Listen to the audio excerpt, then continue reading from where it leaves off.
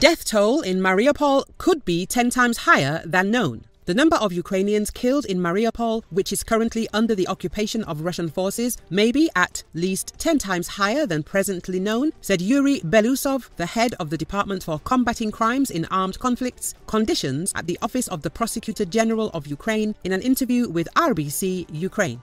Of course, the number of crimes is much higher than 108,000. When we enter Mariupol, we will see that, despite the Russians' attempts to hide it all, the number of crimes is many times higher.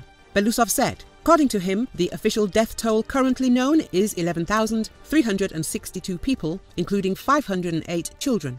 But I think it's at least 10 times more, unfortunately, prosecutor noted. Recall that Russians, in the first days of the full scale invasion, managed to besiege Mariupol. There were battles inside the city involving several Ukrainian units, including the Azov fighters. During the attacks on the city, Russians repeatedly targeted civilians, conducting indiscriminate fire.